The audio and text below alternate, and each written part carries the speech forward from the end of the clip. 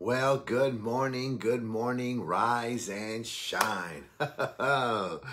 Whew, my goodness. What a week, what a week, what a week. My Lord, have mercy. It's a wonderful day today. It's Friday.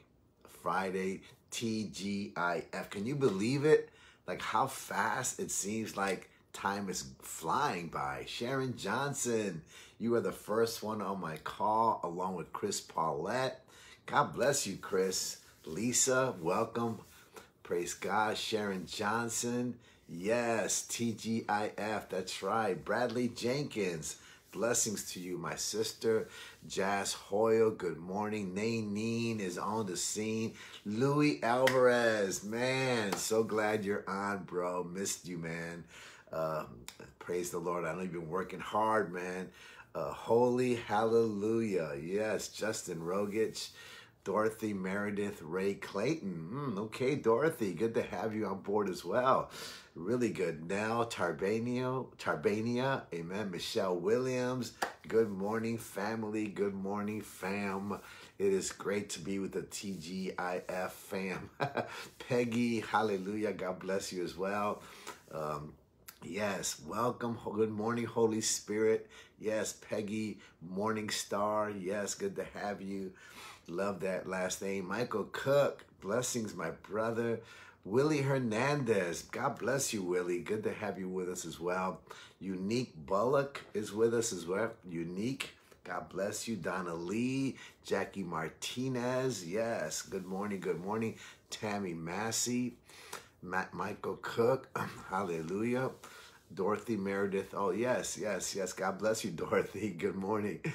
Oh, uh, yes. Good morning, Holy Spirit. Yes, we want to hear from you, Hilda Bryant. Thank you so much. Had a wonderful time last night. That food was awesome. Norman, I heart Norman and Marie. Glad you made it as well. Thank you, Lord. Uh, Sulema Winkler, my goodness, good to see you, my dear sister. I guess you're probably still in Florida, enjoying the sunshine and the sunshine state, and just having a good time. So good to have you, Diana Almazo. Diana, it was so good to have you here during the conference. Hope you get back again soon. Phyllis Moon, all right. Phyllis Moon has made it. Michelle Williams, yak. Yes, yes, yes, yes. Zaida Preston, Zaida Preston. Blessings, bendiciones, mi hermana. Renee Rice, man, I miss seeing you, man. I hope you get a chance to make it to church one day. Yes, uh, Florida, I know you are enjoying life down there. Amber Davis, God bless you. Feliz Viernes, igualmente. Irene Welch, good morning, Irene and Audrey Ross. Bobby Rogers, man, that's awesome, Bobby. I'm so glad you're on board. Uh, yes, yes, hallelujah. Judy Frost. Yes, God, God bless you, Judy. Good to have you as well. Audrey Ross and Judy Frost, back to back. All right, man, we're cranking up. Frank Britt, God bless you. God bless you. TGIF, y'all. Thank God I'm free. Thank God I'm free. Kim Cooper, drop it in the chat. Thank God I'm free. Kim Cooper, Super Cooper, has made her way this day. oh, God bless you. Blessings to all of you. You guys are awesome. So good to have you on board. So, uh, uh, I'm getting ready to get started here. Just one more minute and uh, we'll go forward. Yes, I think you mean, uh, bless. Uh, uh, thank you. Oh, thank you for what you do. All right. Well, that's interesting. I couldn't read the whole thing. Uh, but anyway, I hope that, um, that everybody is well today. And we'll try to make things clear as we go forward. Yvonne Harrison, God bless you. Uh, praise God. And, and, listen, if you guys have any questions, I, I, I want to bring this up uh, before we get started. If you have any questions, like about scripture, about Bible, you know, make sure you put them in the chat. I may not be able to address them during the chat. Leon Wiley, God bless you. Um, uh, if you have any questions about certain things, uh, so I think I saw something that something somebody might have been confused about some, something. Uh, Jeremy Lee Rice, God bless you. Um, if, if that's the case, please make sure you put the questions in the chat because Lisa can uh, uh, record them, right? She's our, our online coordinator, and and that way I, we can get back with you either on Facebook, on a DM, or maybe answer any questions that you may have, biblical questions, whatever. We want to be a blessing to you and uh, and sometimes we need to things have things clarified. Amen. Joe Wilson, God bless you. Glad you made it, brother. Better late than never. Come on, somebody. Uh, so I just want to make that just make that clear, Diane Wooten and the rest of y'all that are coming on. If you have a question, Mr. Lederick Underwood, anyone that's here, if you have a question, write it down in the chat and we'll circle back around and get back with you and answer any questions that you may have, particularly any questions about the Bible, about the church, just anything at all. Just I'll make sure you drop it in there, all right? Amen. Praise God. Well, we're going to go and get started. So glad you guys are on board. And uh, oh, Dennis Lopez just slid in here. Come on, somebody. The fams are here. Amen. Justin, praise God. So listen, I want to I want to uh, start our Bible study this morning, and I've entitled our time together, Miss Peggy Stevens. I've entitled it, Say What God Wants to Hear. Come on, somebody. Say, drop that in the chat. Say what God wants to hear. Uh, the, uh, uh I'm going to explain that in a moment because people saying, What? Say what God wants to hear. Yeah, I'm going to explain that in a moment. But let's pray so that God's word will be able to be manifested in our lives. Miss Yvette Sanders. Romans chapter 10, verse 10. That's what we're going to be reading from. Heavenly Father, we just thank you right now for your word. We thank you that it always enlightens us, it always inspires us, it always strengthens us. So this morning we thank you to make the word clear in our hearts and our minds. In Jesus' name, amen. Amen. Praise God. Say what God wants. Do what Romans chapter 10, verse 10 says. It says, For with the heart one believes unto righteousness and with the mouth confession is made unto salvation. You see, when when you came to Christ, you had an, an enlightened enlightened moment where uh, God, became real and Jesus became real, and, be, and when you spoke it, you prophetically spoke the words out of your mouth of forgiveness, and you accepted Jesus Christ. When you did that, you spoke things into effect, right? And God's word manifested and of course, salvation took place the moment your mouth confessed. Come on, your, your, your faith in God and your belief that Jesus died on the cross for you. You see, your words affect God. As a matter of fact, drop, drop this in the chat. Your words affect God. Your prayers ignite God. Your faith moves God. Oh, come on, somebody. I'm going to say that one more time for, the, for y'all that are typing right now. Your words affect God, your prayers ignite God, and your faith moves God. See, God is eager to help to uh, to help you and God is eager to equip every one of us to use our words to bring encouragement and strength to life. See, the, word, the Lord is always paying attention to what we say. God is not just listening to your words, he hears your heart. Look what uh, look, look what this word this word says here. I, I love this. Uh, and Jesus was so upset, and he and he told he told this. This is a powerful word that he told the the the, the Pharisees. He called them a brood of vipers. How can you, being evil, speak good things? For out of the abundance of the heart, the mouth speaks. Mm. See, drop this in the chat right now. Your mouth reveals what's in your heart. Your mouth reveals what's in your heart. See, we need to realize that everything we say has an impact. Whatever comes out of our mouth makes a difference. See, we may we must be careful with what we say because our words do carry weight. They do make an impact. They actually do make a difference. See, we have to be especially careful when we're weary and physically tired. Come on, somebody. It's so easy to get agitated and say things that we have to apologize for later. Oh, come on now. Some of y'all know what I'm talking about. You get tired, you get upset. Somebody says the wrong things, and man, it lights your fuse up and sets you off. And then we begin to say things, and, and they're not they're not good things, they're not edifying things, and then people around us are affected. And of course, later on, um, um, we have to come back and apologize. We've all been there. Come on, man. Every single one of us. Look what Ephesians chapter 4, verse 29 has to say. It says, Let no corrupt word proceed out of your mouth, but what is good for and what's good for necessary edification, that it may impart grace to the hearers. Oh man, let no corrupt. Some some versions say no, no, not just inc- no corrupt words, but unwholesome words come out of your mouth because it whatever you say should impart grace. It should be a blessing to those that listen. So sometimes we have to be careful to hold back uh, our thoughts because it's one thing to think something.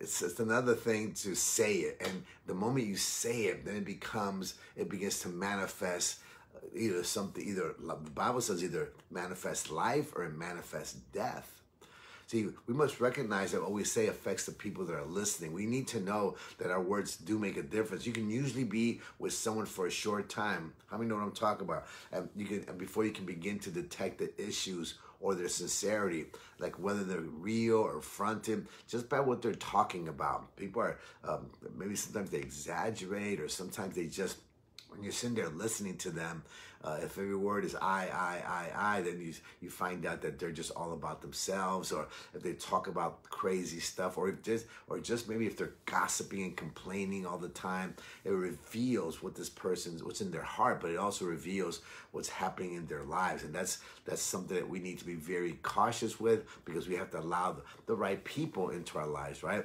That's why before, that's why you ever notice that before uh, you you have you get a job, uh, you have an interview See, and and if you if you're an employer, you know you want to make sure that you have an extensive interview to see how people respond to your questions during your conversations. Absolutely. See, that's what interviews are for. They they're, they're trying to see where you are, but the only way they can judge that, right? They can look at you and evaluate you is the how you speak, how you express yourself. What when they ask you a question, how do you respond, right? See, I remember one of the worst interviews I've ever had. I got to tell you, this was bad. See, I had an interview. I had, I had, been unemployed for about three months. This is right before I got saved. And uh, so, so I was just going through an emotional trauma, man. It was so hard, right? And uh, so I lost my job, and I, so I waited for. I, I was looking, but I was going through such a depression and uh, but I finally the, the Lord touched my heart. I began to interview, and I decided it was time to go ahead and get up and be be more aggressive. So I just picked up the phone book, started calling every computer company in the phone book until finally somebody said, "Hey, I have a friend." It was probably like my 15th phone call. I have a friend in Norfolk that needs somebody for Richmond. Long story short, I went for the interview, and oh my goodness, I was so desperate. Right? I, I mean, I needed a job. I was paying my bills with my credit card, building up debt, so I needed something quick.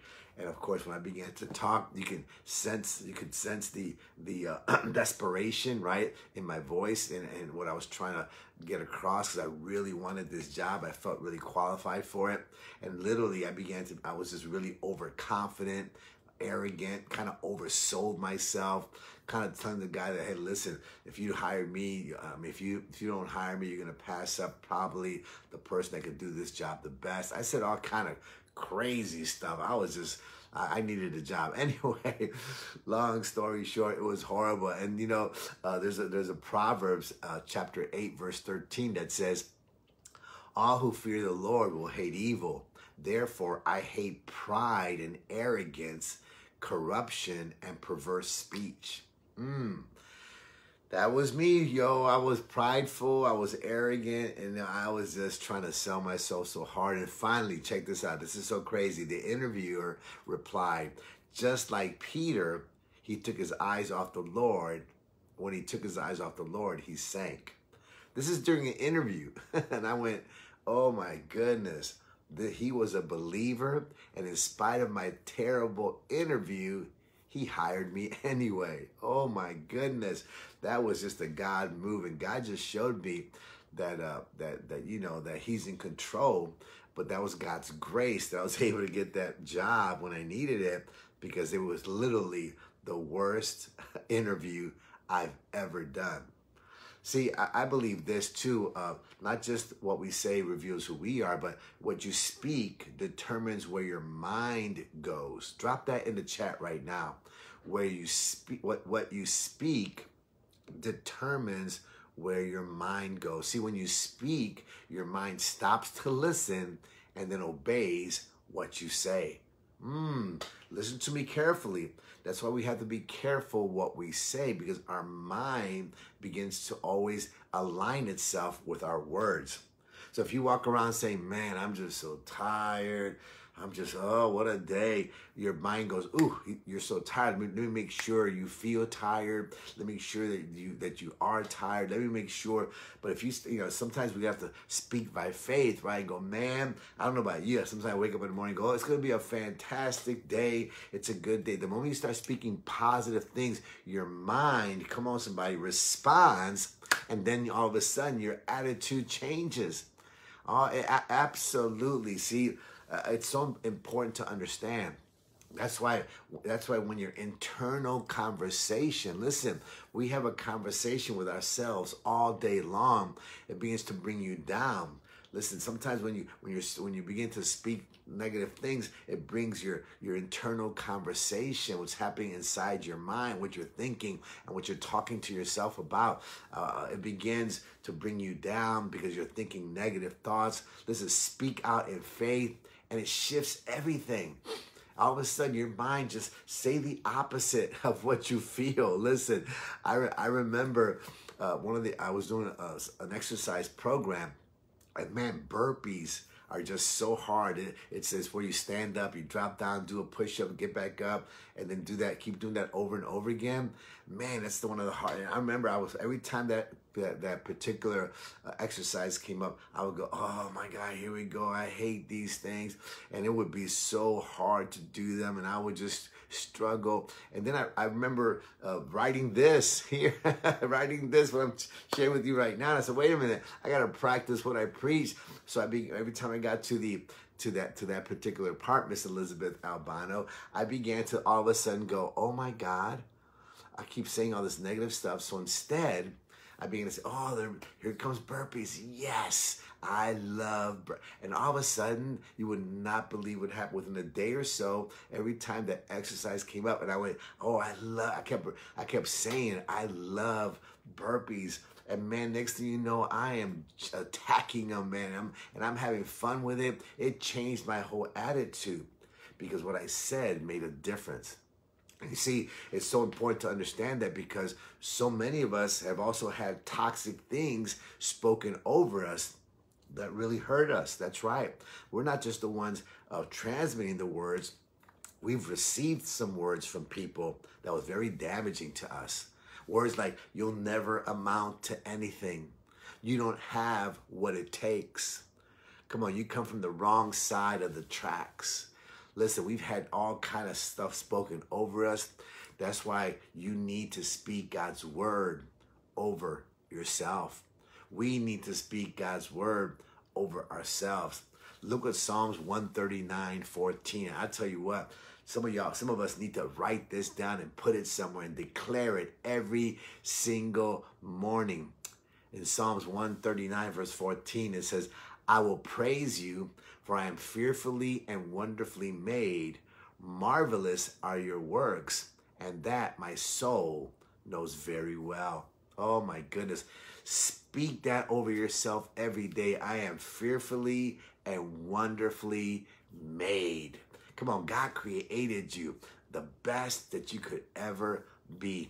Listen, Jesus taught his disciples how to pray because he wanted them to know how to speak and how to pray, how to communicate to God in the way God wants you to. Amen. See, just like we speak things that make an impact, when we pray, those words begin to move the heart of God as well. Jesus knew God's protocol and he gave us a blueprint of what God wants to hear. And you know, that's where uh, uh, Matthew chapter 6, 9, 13, what we talked about not maybe not too long ago, maybe a couple weeks ago, we talked about the Lord's Prayer and how the Lord's Prayer really is a blueprint that shows the protocol of how God wants us to pray, to praise and, and pray for provision and for protection and for pardon. Listen, I tell you what, God, God, your words can move God's heart when you use your words correctly. That's why Jesus taught them how to pray. Remember, faith talk is what God responds to favorably. Drop this in the chat right now. Faith talk is what God responds to favorably. So when you speak out in faith, come on, somebody, when you start declaring good things over yourself and over other people, you'll start seeing that God responds to the faith that your words transmit. Come on, somebody. Listen, it's okay. Confess your sins, express your desire for forgiveness. See, state the things that you need God to do in your life declare God's provision and thank God for providing for every single need. Listen, He woke you up this morning. He woke all of us up this morning with a moment to spend time in His presence with His family right here on Walking in the Spirit. Listen, this is all God's grace and mercy for every single one of us. Amen. And most of all, listen, proclaim His promises. When you proclaim God's promises, that He has given us, man, that's what God wants to hear because He knows that when we proclaim and declare His promises, that it creates faith inside of us and know that we're standing, listen to me, we're standing on what God said. And when you do that, it honors Him. he is pleased.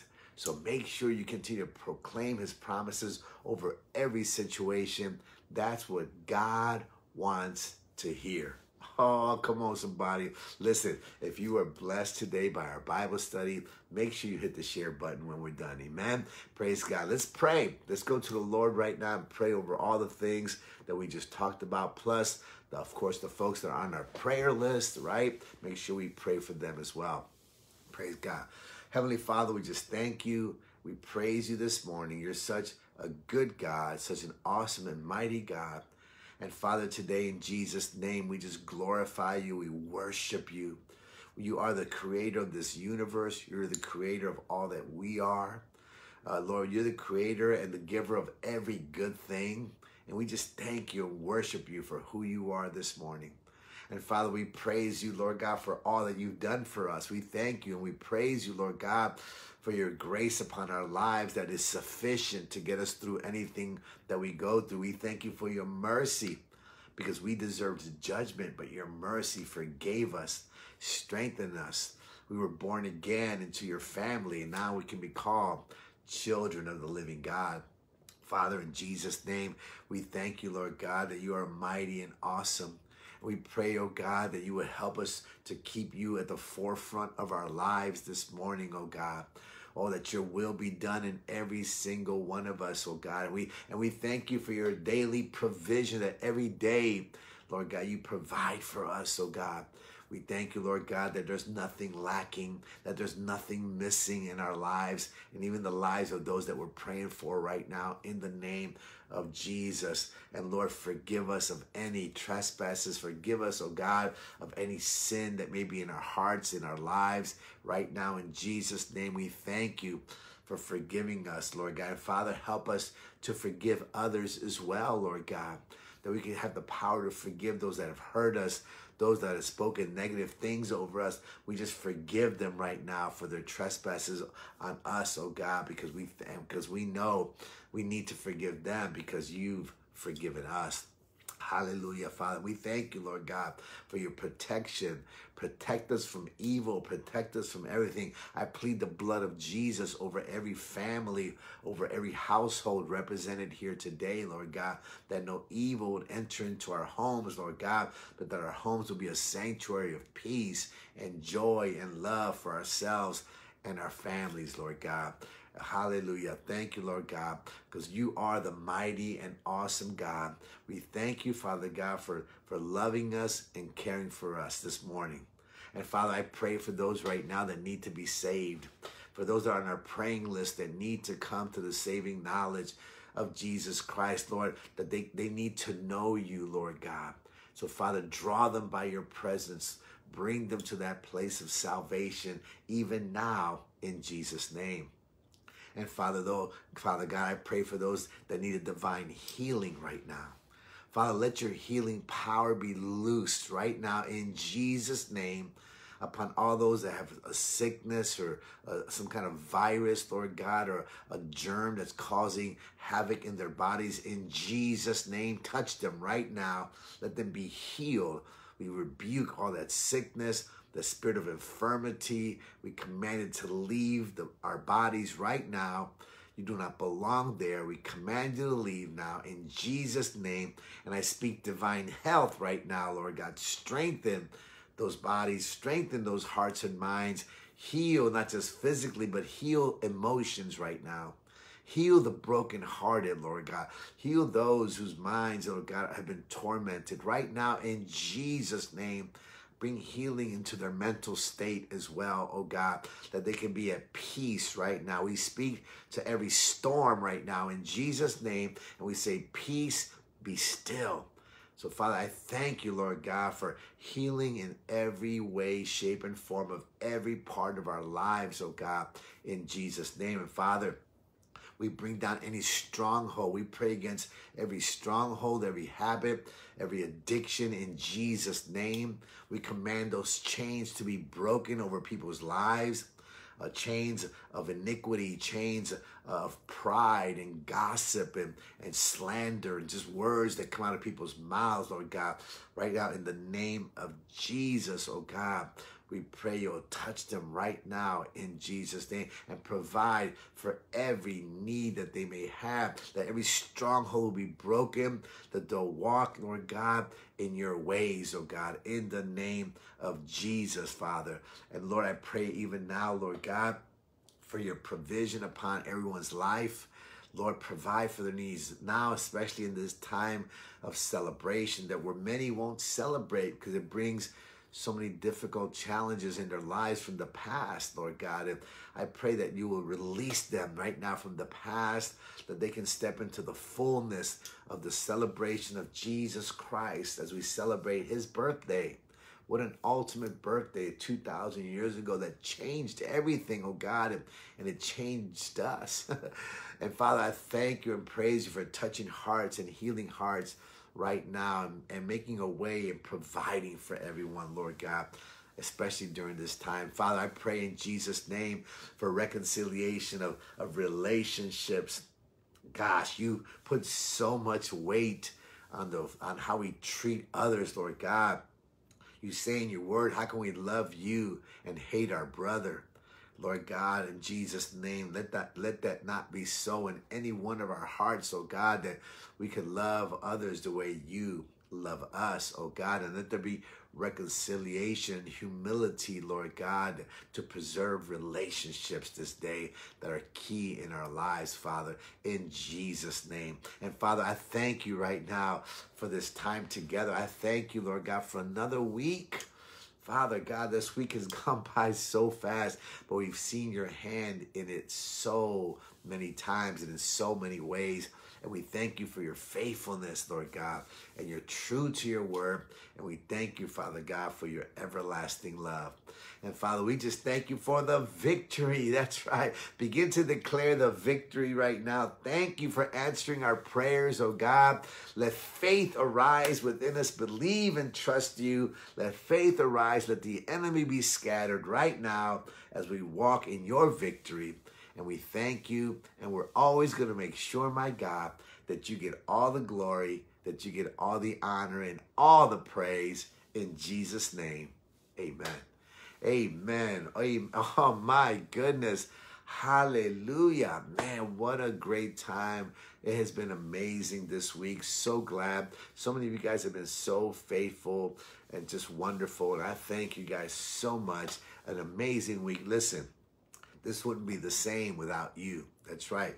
We, all of us together is what makes the power, what gives the power of prayer to be unleashed and, and our faith together. Come on, somebody, to move mountains. Amen.